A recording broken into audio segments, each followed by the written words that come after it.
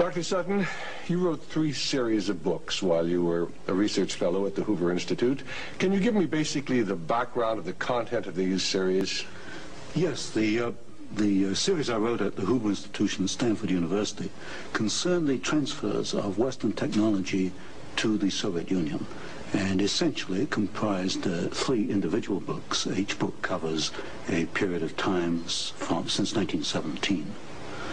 And then you wrote a second series of books on Wall Street. Yes, uh, these were trade books. Uh, in other words, they're, they're, not academic books. They're written for the general public. Uh, they concerned the uh, build-up of the three types of socialism, uh, Bolshevik socialism in Russia, um, what we might call welfare socialism in the United States, and uh, Hitlerian or National Socialism. And each book examines the financing and the contributions made by Wall Street, by international bankers, to that to the development of that specific form of socialism.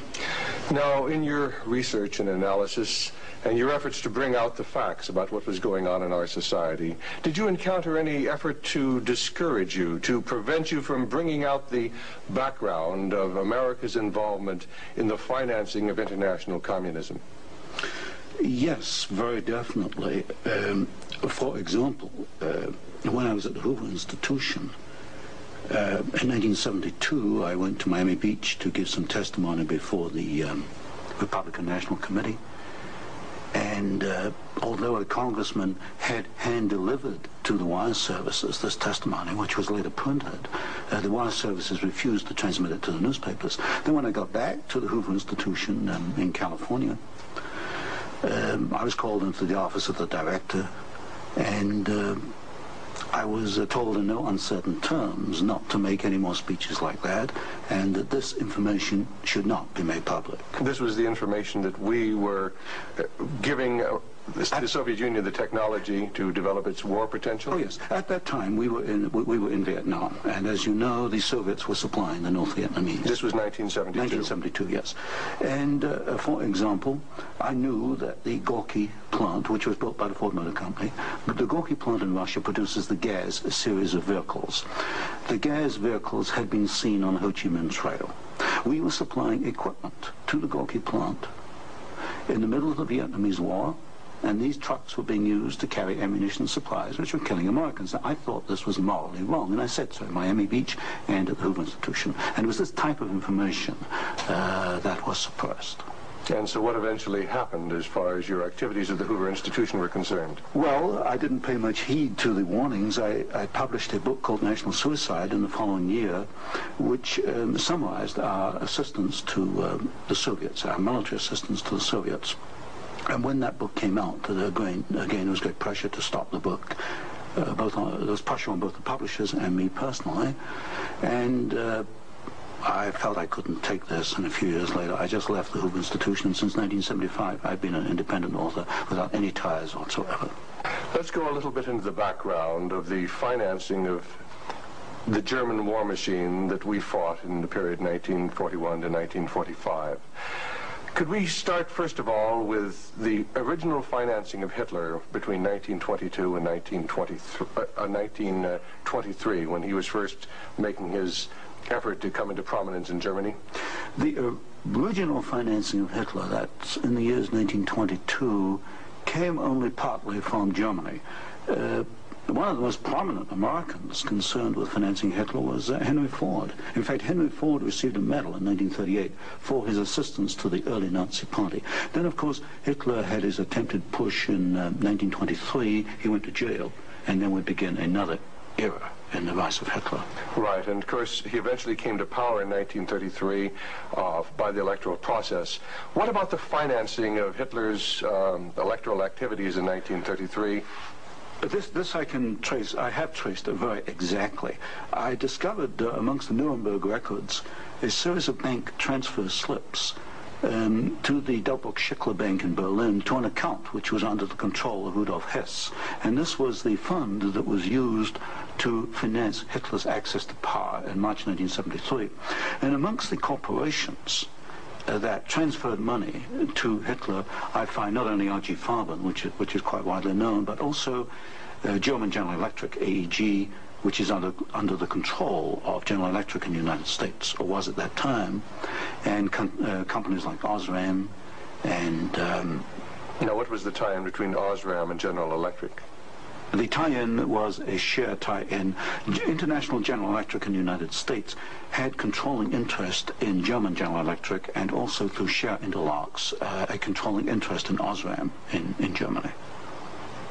So then we have Ford and we have General Electric helping to finance Adolf Hitler's rise to power. Were any other large American corporations involved? Uh, very definitely. Um, Standard Oil, uh, through its uh, technical association with IG Farben, um, uh, for example, uh, Germany could not have gone to war in 1939 without uh, tetraethyl. You need tetraethyl to raise the octane value of aviation gasoline. Germany had no means of doing that. This was developed in the um, in the ethyl uh, laboratories in the United States and transferred uh, to the Germans. Uh, Standard Oil came up with the hydrogenation idea, which was very essential for Germany in the 1930s because the, uh, to raise the quality of its gasoline for aviation purposes. This was transferred to the Nazis.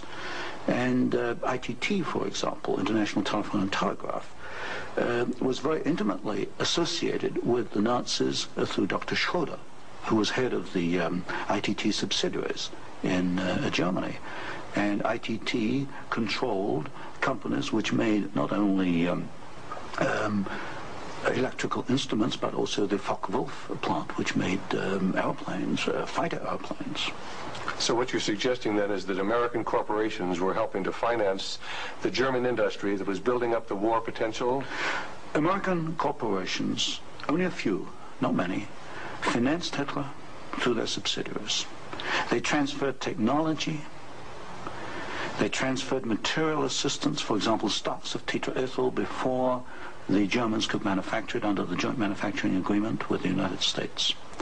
And also they financed this. For example, Standard Oil financed in 1933 the development of the um, gasoline industry in uh, Germany, which was needed to fight World War II. And that's a very interesting point. Could you go a little bit into the background of where Germany got its oil to fight the Second World War? Because certainly Germany doesn't have oil resources. Germany does not have oil resources, that's true. It uh, used in World War II synthetic oil, which it, did, which it uh, got from coal.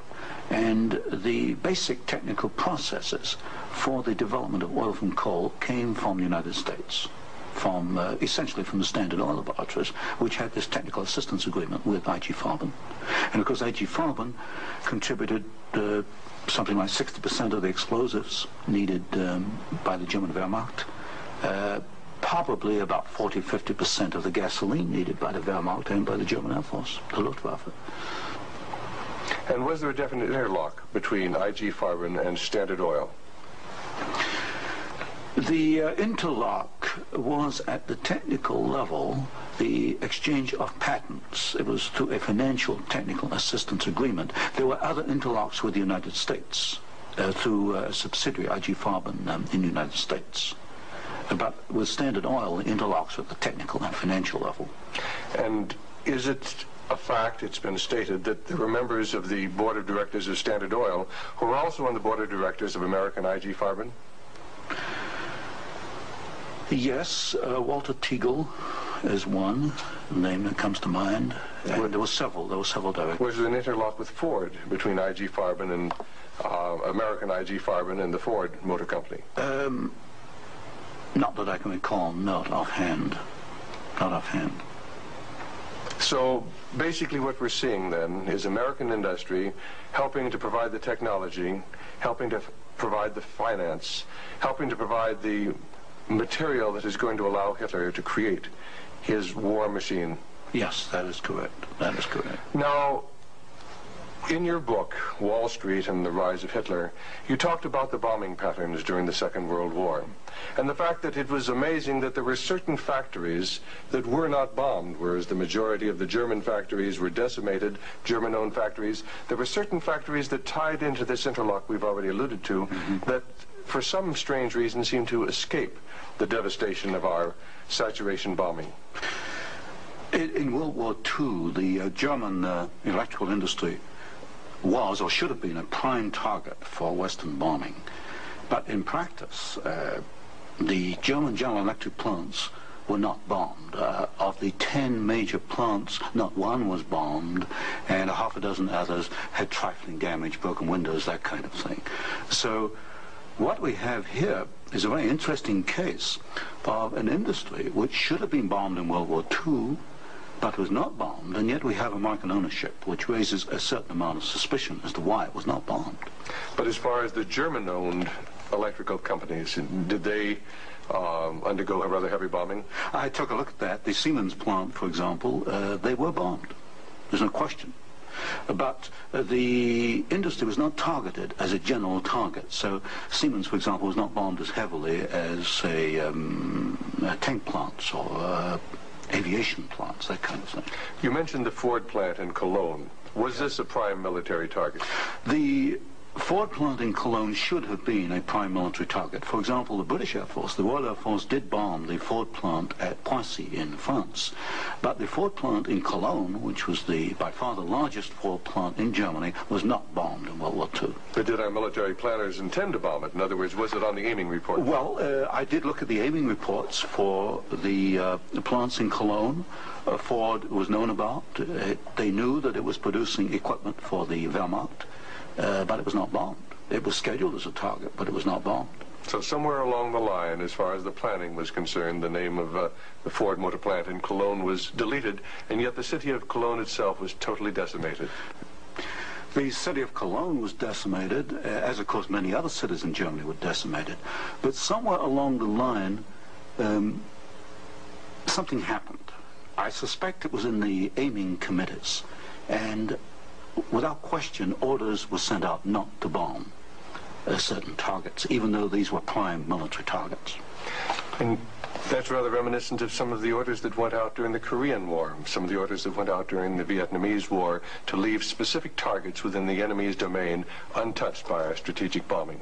I understand that was so, although I, have not investigated it. Now, in your book, Wall Street and the Rise of Hitler, there was one very interesting section about a special fund that Heinrich Himmler had, and the funneling of money from German corporations into this fund, even up into the years 1943 and 1944. And many of these corporations had strong ties into the American corporations, into their, the American parent corporations. Could you tell us a little bit about the Keppler Fund? The Keppler Fund was also known as the Konto S Fund. It was uh, what we might call Heinrich Himmler's personal slush fund. He used it for his own personal projects. And um, what amazed me was both in 1933 and in 1944, the two days, uh, the, the, two years for which I examined the records, um, over half the funds came from American corporations. For example, in 1933, ITT, uh, Standard Oil, General Electric, and uh, and possibly Osram were contributors. Even in 1944, in the middle of World War II, we find that ITT was funneling funds to Heinrich Himmler's, uh, Heinrich Himmler's fund through um, Schroeder, who was the chairman of the uh, ITT subsidiaries in Germany. We also find that uh, DAPAG, the, um, Standard Oil subsidiary in uh, Germany, was financing Heinrich Himmler, and this was in the middle of World War II. Now, were these facts ever brought out at the Nuremberg hearings? They were never brought out at the Nuremberg hearings, although the documents do exist within the uh, within the files, within the records. They have not been published, as far as I know. And you actually had access to these records? Yes, there's some 400 tons of these records available, and uh, many of them were at the Hoover Institution, or copies were at the Hoover Institution, and that's where I found the original documentation. I think it's a tragic part of our history when the American public doesn't realize the interplay then between great American corporations and the financing, the funding of the Nazi movement. Now, I wanted to talk just a little bit about the Nuremberg trials because of the Nuremberg trials, the Nazis, the Nazi war criminals, the Nazi generals were, hold, were held specifically guilty for what transpired. Were there any Americans um, involved? Were any Americans um, indicted? Were any Americans convicted as far as the financing of the Nazi war movement? Very definitely not. Uh, I looked at the criteria for um, what we might call war, war crimes under the Nuremberg uh, Tribunal. And there's no question in my mind that certain Americans well fitted the criteria which required indictment and trial. But no Americans were ever brought to trial. Do you think there was any conscious effort to conceal this fact? both from the Nuremberg War Tribunal and from the American public? Well, there was a conscious effort in the fact that uh, these businessmen were very uh, prominent in stating in 1946 that they had no knowledge of what Hitler was doing, and yet they were intimately involved with the build-up with Hitler. I suspect that this was not published in the media at the time, although I've not checked that. But certainly the, the role of American corporations and American businessmen in aiding Hitler has not been published. Now, what about the actual financing? What about the loans from large American banks, from large British banks, to Hitler's government in that period between 1933 and 1939, when Hitler was preparing for war? Well, you've got to go back a little earlier and look at what are known as the uh, young loans, which were very important because I think they brought about the economic collapse of Germany in 1933. That was the Young Plan. This was Owen Young, who was, of course, chairman of General Electric. Here, we got a man who actually made the loans as an officer of the United States government, which brought about the collapse of Germany in 1933, enabling Hitler to take over. And then subsequent to 1933, you get a series of loans. Um, a very good one is Standard Oil, which um, loaned several million dollars, at least, to Germany to build up its um, aviation gasoline facilities. And uh, there are other examples. Fine. Well, I'd like to get a little bit into the background of the financing of Bolshevism because I think this is vitally important. And we can go back to the period after the uh, Second Revolution, which was in October and November of 1917. The initial financing of Lenin's movement, how did it tie into the American corporations? Was there any American involvement in that period between 1917 and 1918 when Bolshevism was just beginning to get a foothold in Russia? Yes, there were several uh, incidents. The most important is one involving Colonel uh, William Boyce Thompson, who was the largest shareholder in the Chase Bank, which of course today is Chase Manhattan Bank. And um, I published in one of my books a, uh, a copy of a cablegram which transferred funds from New York to Petrograd in December 1917, $1 million to be precise. And uh, Colonel Thompson made the statement later that this $1 million was given to the Bolsheviks uh, to to consolidate. They, they, had just begun to take over Russia. They only controlled Moscow and Petrograd at that time to aid the um, the control that the Bolsheviks were extending in Russia. This is a very clear case. One million dollars, American funds, transferred through an American Wall Street intermediary to the Bolsheviks. And didn't you publish that uh, document here in Wall Street and the Rise of Bolshevism? I published two, uh, two statements. One is a copy of the cablegram, and the other is a copy of the news clip of the statement made by Colonel Thompson at that time that he had given, made this contribution. Now, why would an American capitalist, an American financier, help to aid Bolshevism? The only answer, and of course this puzzled me for years, you know, why? Why? Because we understand there to be an opposition. And the only answer I can come to is one of captive markets. The United States did not want another United States in the world. And of course, if you look at the world map, uh, Russia is uh, two or three times larger than the United States. Imagine this as another United States, as another competitor to the United States. What the United States wanted, or Wall Street wanted, was a captive market. And of course, socialism is a captive market because my earlier studies at Stanford University have brought out the fact that a socialist system cannot innovate. It's got to import innovation and technology from the West. And so I think the aim behind this was to encourage the development of Marxism and other, social, other types of socialism because this would give these Wall Street bankers control of a world market, a captive market. At the end of the First World War, Russia was devastated by famine. And America sent a relief mission. It was the Hoover mission. Do you know any of the facts surrounding the uh, activities of the Hoover Commission? Well, there's no question that in 1922, 1923, uh, Russia was finished. Uh, industrial output was perhaps uh, 8 or 10 percent. of uh, 1913 figures, and people were starving by the hundreds of thousands. And the Hoover mission was organized, of course, to send aid uh, to Russia. Uh, but most of the aid went to the Bolsheviks, who controlled um, really quite a small part of Russia at that time. Only a very small part of the aid went to uh, the White Russians or to the Far East. And then after 1922 and 1923, Lenin instituted something known as the New Economic Policy, or this series of five-year plans. Can you tell us about the five-year plans and the part that the major American corporations, major world corporations, played in building up the Soviet Union? Well, there are two separate um, phases here. The, the new, econ new, economic policy was uh, started in 1923 by Lenin, and I found, and I published this in my first book from Stanford, that every single Russian industry was rebuilt or restarted by foreign corporations, mostly German, British, French, and American. By 1928, uh, Russia was back to approximately its 1913 um, in industrial output. And at that point, uh, she began to think of these grandiose five-year plans.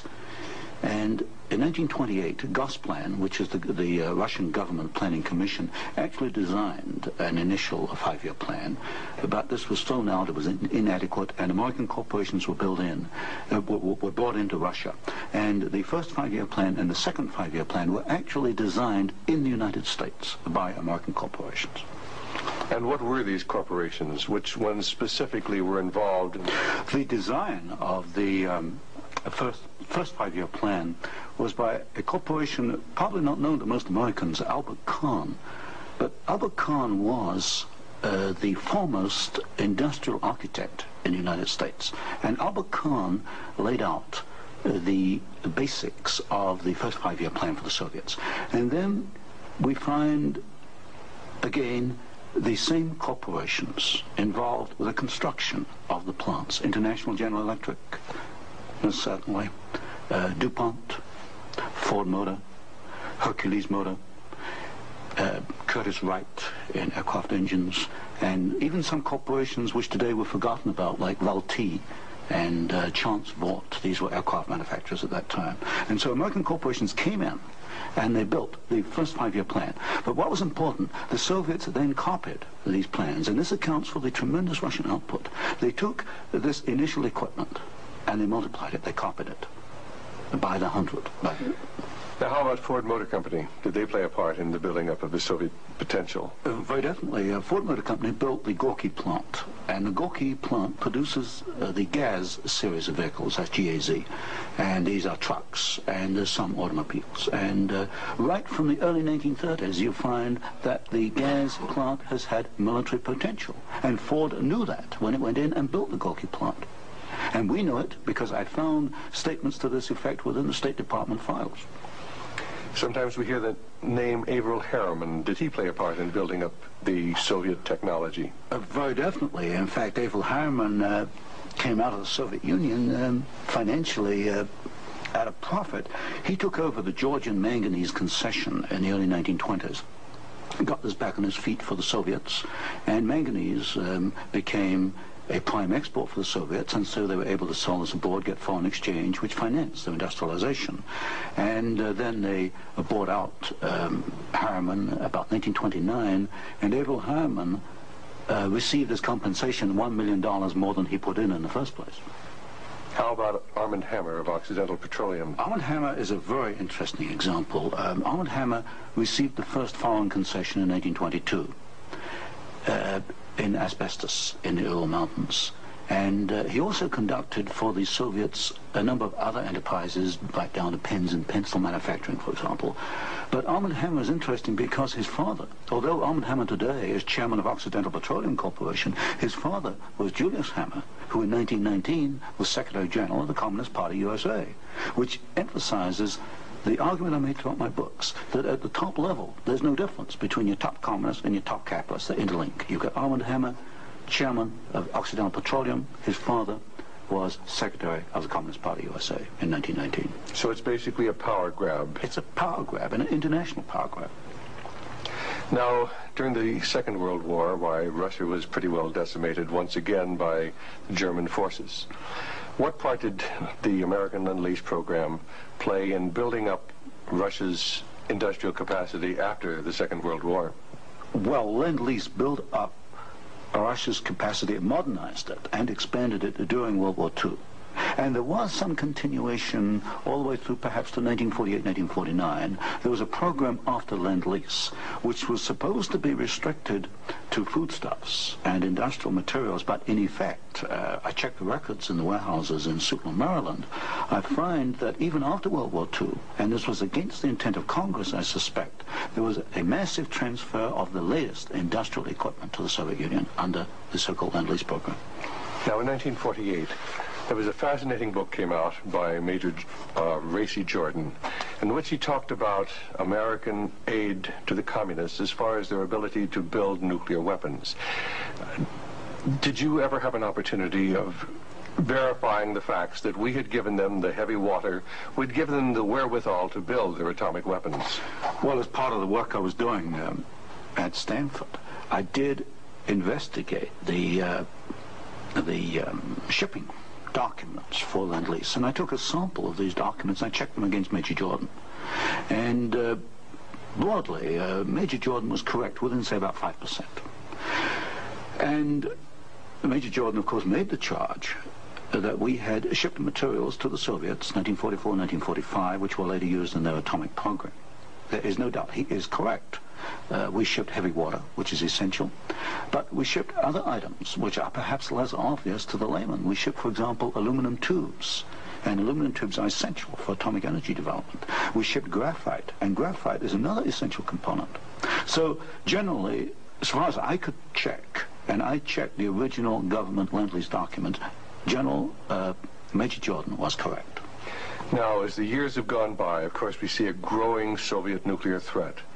The Soviets now have MIRV missiles. Mm -hmm. Can you get a little of the background on how the Soviet Union, which really didn't have the technology to develop those MIRV missiles that threaten our cities today, how were they able to develop the MIRV capacity?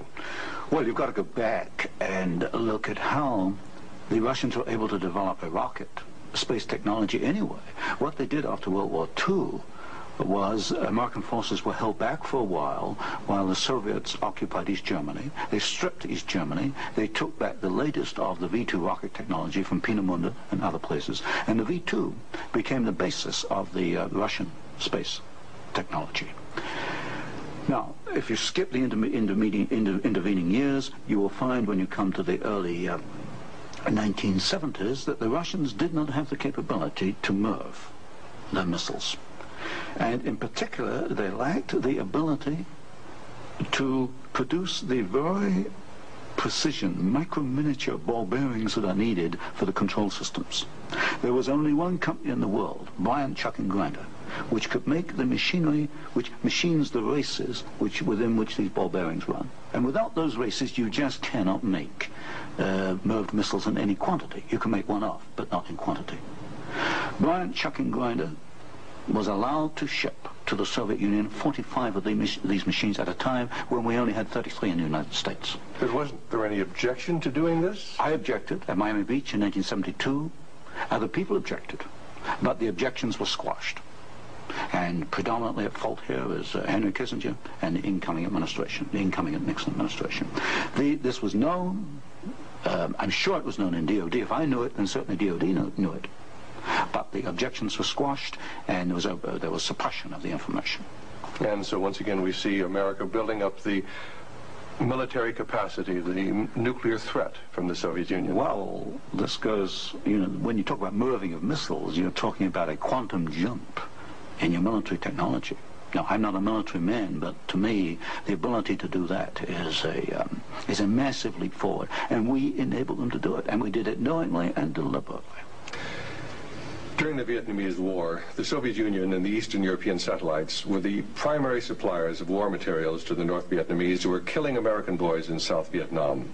Would you comment on our aid and trade with the Soviet Union and with the Eastern European satellites during that period of time? Well, there's no question that uh, the Soviets were the prime suppliers of military equipment and supplies to the North Vietnamese. Let me give you an example. um, the American pilots, as they flew over the Ho Chi Minh Trail, described the trucks that they were seeing as American trucks. Well, they were American trucks because they came from the Gorky plant, and Gorky was built by Henry Ford. And so you have the situation where um, we were in effect supplying both sides in the Vietnamese War. But the trucks were being built by the Soviet Union. However, were they getting any materials from the United States to help build those trucks? Yes, um, in the early 1970s, I know specifically of shipments of equipment into the Gorky plant while the war was going on, which in effect were aiding the Soviets to build more trucks to be used by the, by the North Vietnamese. How about loans? Was America extending loans to the Soviet Union during this period when they were the primary financiers of the North Vietnamese? Yes. Uh, beginning about 1970, uh, there was a massive uh, grant of loans to the Soviet Union. I'd say by about 1976, it must have totaled perhaps $40 million, $40 billion outstanding. And so this, of course, these loans were used to enable the Soviet Union to purchase uh, um, industrial equipment in the United States. And this industrial equipment was used to manufacture, in part, military supplies which were used against us in Vietnam. How about Russian shipping that was being used to ferry supplies to North Vietnam? Mm, shipping is a very interesting example because the Soviets published a shipping register about uh, 6,000 ships. And I analyzed every one of these ships, uh, both the origin of the technology of the ship itself, the hull, and the engine. Most of them are marine diesel engines. And I find that 60% of the Soviet uh, merchant marine, which of course has military usefulness, 60% was built aboard. Only 40% in the Soviet Union, and that largely to Western design. But when you come to marine diesel engines, you find something really fascinating. You find that 80% of the marine diesel engines in Soviet merchant ships are Western engines, uh, Burmeister and Wain of Copenhagen, Copenhagen, Sulzer of Switzerland, Fiat of Italy, because that name has come up before. But the other 20% of marine diesel engines built in the Soviet Union are built to Western design under technical assistance contracts from Sulzer and uh, Burmeister and Wain. So in effect, there could be no Soviet merchant marine without assistance from the West. How about the building of the Kama River plant? Kama River was built in the late 1960s, early 1970s. The basic design the contract was let to the um, Italian firm of Fiat. Uh, Giovanni Agnelli is the chairman of the board. And uh, this is important because Agnelli is tied in with Chase Manhattan Bank. He's on the uh, International Advisory Committee of Chase Manhattan. Uh, what caught my attention was that Fiat does not manufacture automobile manufacturing equipment. All the Fiat plants in Italy are contain American equipment. And what I found was that the equipment was coming, perhaps about 60-70% of it, from the United States from major automobile equipment suppliers in the United States. I think the, it was known as the Fiat plant as a cover um, to perhaps divert attention from the fact that during the Vietnamese War, we were building the largest plant in the world. It covers 36 square miles. We were building for the Soviets with American equipment the largest plant in the world. And so it was called the Italian Fiat plant, and I think this was a blind. And so they were building their trucks and armored personnel carriers and other things that could be used then for warfare in South Vietnam? We knew that the Kama plant had military potential. In 1972, I wrote it in National Suicide. In um, I said as much in Miami Beach in 1972. This plant has military potential. It can produce military vehicles. We knew it. And of course today in Afghanistan we find that the Kama vehicles that are, are there in Afghanistan today from the Kama plant built by American and Italian companies. And it was after you brought out this information that efforts were made to suppress your book, National Suicide, yes. and your other studies? Yes, because I was bringing out the fact that the Kama River plant had military potential, that we were moving the missiles with the Bryant uh, chucking grinder equipment, and of course other facts along these lines. And what sort of pressure was brought to bear upon you? What sort of pressure was brought to bear upon the publisher of your book, National Suicide? Uh, the uh, there was pressure on the publisher uh, to prevent publication, to stop publication. Uh, he refused to do so. There's pressure brought upon me first to withdraw the book, and then a rather um, deceitful sort of pressure. It was claimed at the Hoover Institution that I had uh, plagiarized volume three of my Western Technology series, which was being published by Stanford University. Well, firstly, I challenged them uh, to point out the plagiarization, and nobody could find even two sentences that matched up. But then I pointed out that I cannot plagiarize my own work. I hold the copyright on both books, and nowhere in the world can I plagiarize myself. That's a logical impossibility. And then gradually it built up over the following years uh, that my research was uh, perhaps going a little out of what was um, perhaps required or welcome would be a better word, and it should be confined within more narrow uh, boundaries. And at that point in 1975, I left the Hoover Institution, and since then I've become uh, an independent author, and I can publish what I want to publish. Do you know of any other instances where efforts were made to suppress publication of books through the Hoover Institute?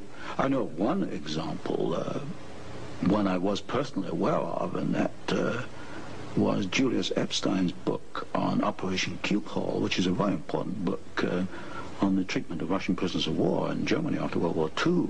This book was in manuscript for several years, and he was not allowed to publish it. I, I heard that firsthand from Julius. Right, and eventually it was, of course, brought out. It was at, uh, at a, uh, a, later point. Now, another example I can give is my own um, Western Technology series. The third volume of that was held in galleys for one year. Now, it costs a lot of money to hold a book in galleys because when a book is in galleys, you want to get out on the market to start recouping your investment. That book was held in galleys for one year because it was not politically um, wise or acceptable to publish it at that time, even though it was an academic book. Now, you've done some fascinating studies on the Trilateral Commission. Can you tell us about the Trilateral Commission? The Trilateral Commission uh, is a private organization founded by David Rockefeller in 1973. It was essentially financed by um, Rockefeller and some of the foundations, Kettering Foundation, Danforth Foundation, Ford Foundation. Uh, Ford Foundation was a very major contributor. And uh, the um, stated objective is to encourage discussion amongst uh, what they call the trilateral regions. I should point out that of the 300 members, one-third come from the United States, one-third from Japan, and one-third from Europe. But in effect, I find uh, that the actions of the Trilateral Commission are very much self-interested on the part of the international banking community in New York. Now, as far as the Trilateral Commission's influence on the American government is concerned, it's been said that the there is a very excessive representation of the Trilateral Commission in Jimmy Carter's cabinet and in Jimmy Carter's administration. Well, excessive is rather um, an understatement. I think there's some 200 million people in the United States. There are only 77 trilateral members who are American. Out of that 77, I counted no fewer than 18 trilateralists. That's about one third of the trilateral American trilateral contingent turns up in the Carter administration. Uh, Mr. Carter himself is a trilateral, Mr. Mondale, Mr. Brown, Mr. Vance, Mr. Blumenthal, Mr. Brown, Secretary of Defense. In other words, they occupy all the senior cabinet and sub-cabinet posts. In fact, there's some key committees, intelligence and defense committees, which are only comprised of trilaterals. So here you've got 77 Americans selected by one man, David Rockefeller, who's chairman of Chase Manhattan Bank, and we find that they turn up in the key controlling positions in Washington under the Carter administration. And would this suggest to you that perhaps we do not select the uh, government, that it is selected by these people who work behind the scenes? You can come to no other conclusion. If you look today at who's running for office, you find Mr. Bush is a trilateral. You find Mr. Anderson is a trilateral. Mr. Carter is a trilateral. We find articles appearing in Newsweek magazine, Time magazine, U.S. News and World Report, many of the major media telling us there's really nothing to be concerned about from the Trilateral Commission. Is there any interlock between the Trilateral Commission and the major media in the United States? Yes, there is an interlock, um, particularly in the um, news media. For example, the uh, Chicago Sun-Times, the executive editor there, James Hoge is uh, a trilateral. You'll find uh, Sol Linowitz is a director of Time magazine. And I think, yes, um, Schacht, uh, Henry Schacht is a director of CBS. So there very definitely is an interlock between the trilaterals and the media. And perhaps this is the reason then that they rather play down the influence of the Trilateral Commission on contemporary American government. Yes, I had a computer survey made of um, all articles that have been printed on the Trilateral Commission since 1973. I could find worldwide only 73 articles. Now, what's the relationship between the Trilateral Commission and the Council on Foreign Relations? Uh, well, of course, the Council on Foreign Relations is a much older organization founded in 1920. I did a study in which I compared uh, trilaterals with or without membership in the CFR, Council on Foreign Relations. I find there's something over 50% overlap.